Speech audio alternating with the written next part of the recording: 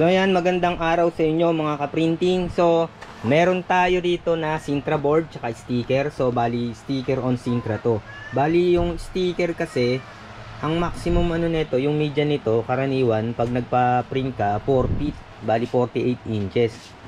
I-maximize nyo dyan yung lahat ng kakailanganin ninyo na mga layout para makatipid kayo. Kasi kung maliit lang, kunyari 1 feet lang, babayaran nyo lahat yan, yung kahit yung blanco. Yan, depende yan sa ano sa mga print shop na pagpiprintan ninyo.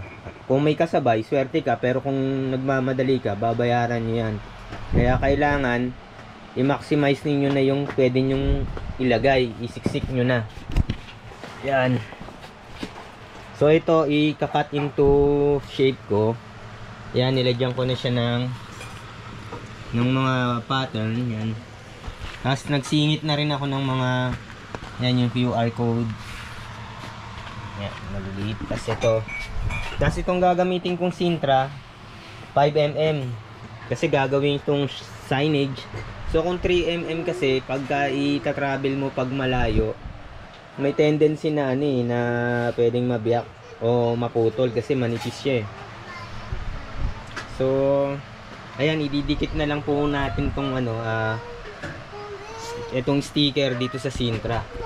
So, pwede nyo rin pong i-laminate yan. Pero magdadagdag ka ng cost. Magdadagdag ka ng cost sa iyong materyales.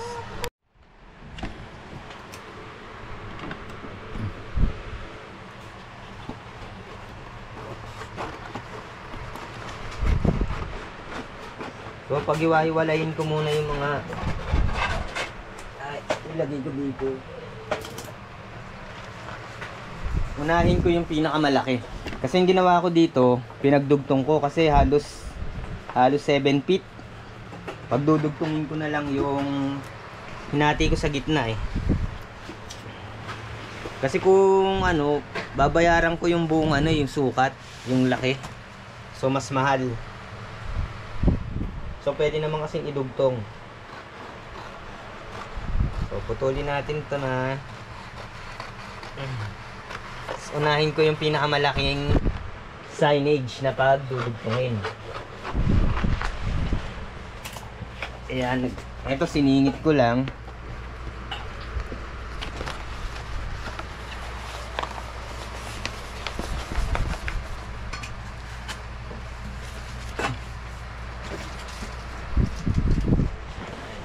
ito talaga yung kailangan. eh.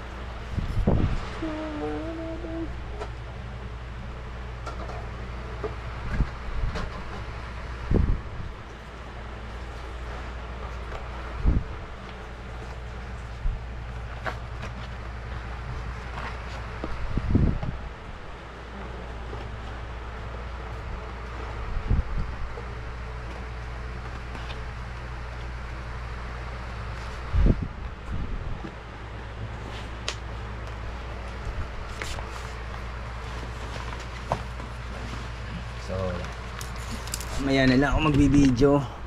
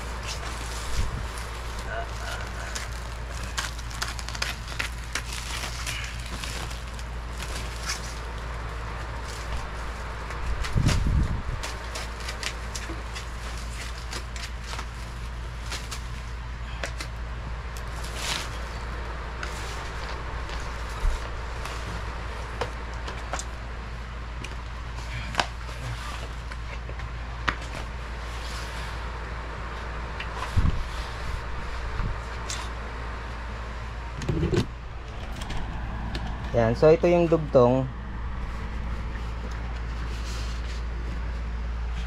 Yan, install na natin dito sa Sintra.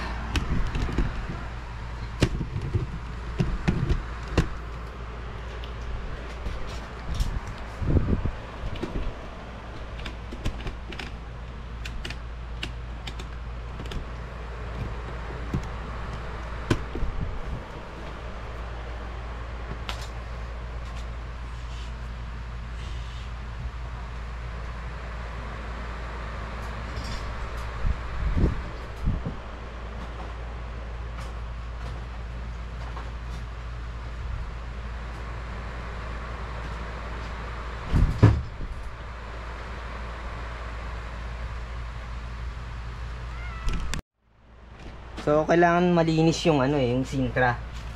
Yung mga alikabok. Ano yan? Alisin nyo.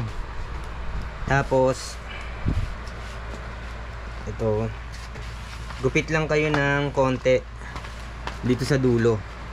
Kasi dyan yung start ng pagdikit nyo dun sa sintra. Ayan.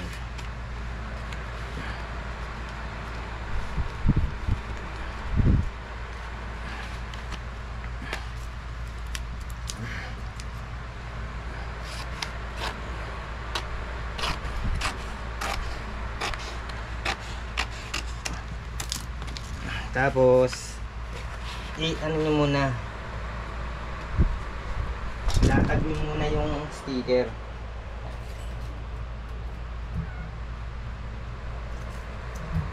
Yan. So, ganyan.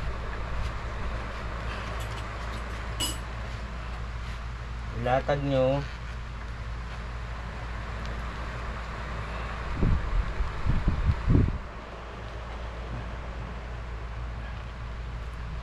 Lagyan nyo muna ng tape.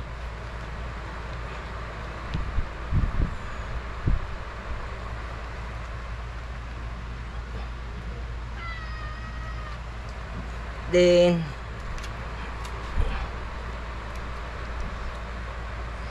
dikit nyo na tong ano, dulo. Yan.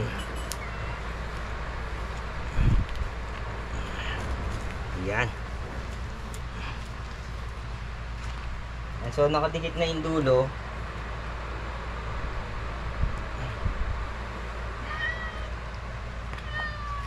Tanggalin nyo na yan. So, adjust lang.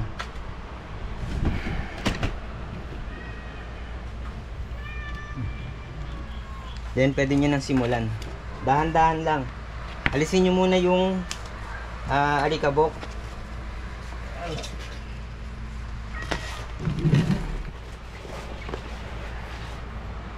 Iangat nyo na dito. Yan. Angat na yan. Tapos, yan, mahirap lang din pag mag-isa lang. Yan.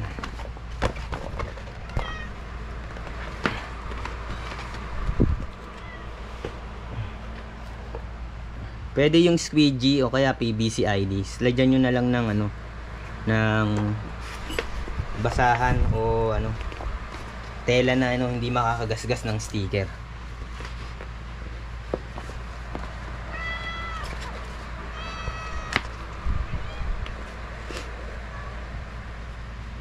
Then,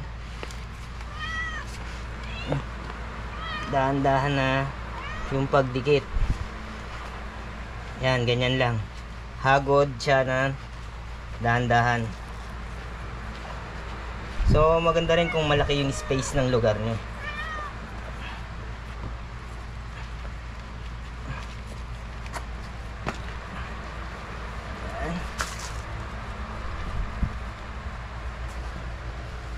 Ay, may bumukol. May bumukol. Balik na. Pabalik lang. Pag may bumukol. Ayan.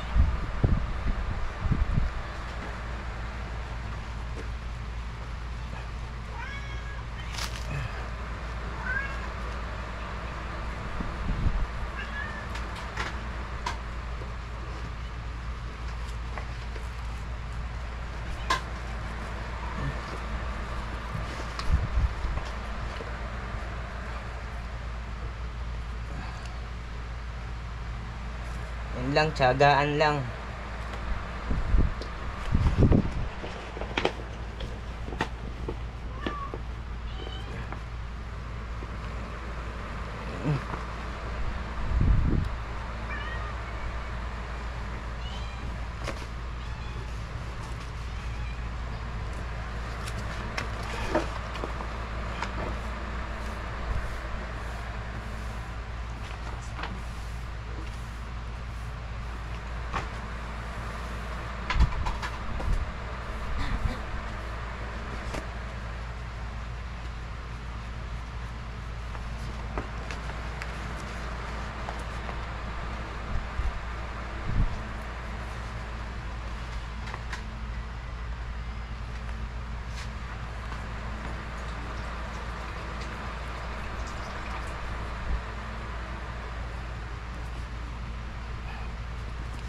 Yan.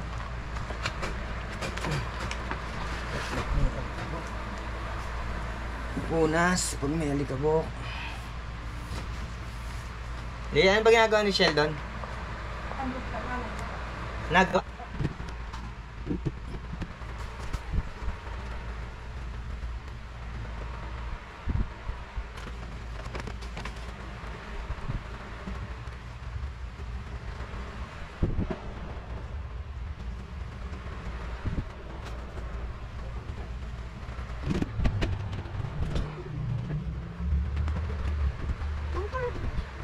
Okay, pumunta din. Sa e-bike.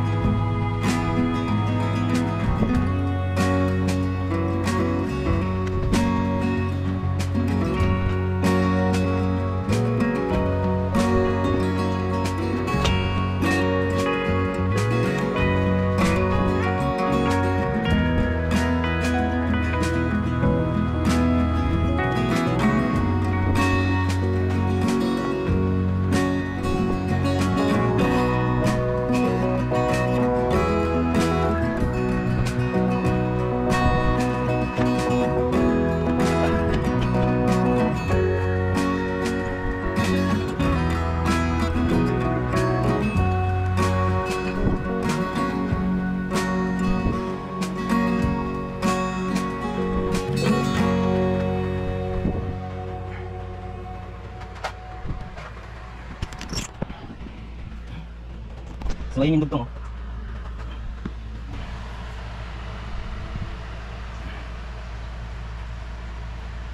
So mamaya ko na i-video pag natapos ko na kasi same process lang.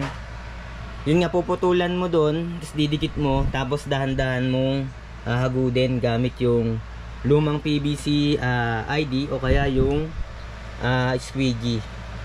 So yan lang po, mamaya na lang. Papakita ko na lang kung pagkatapos to.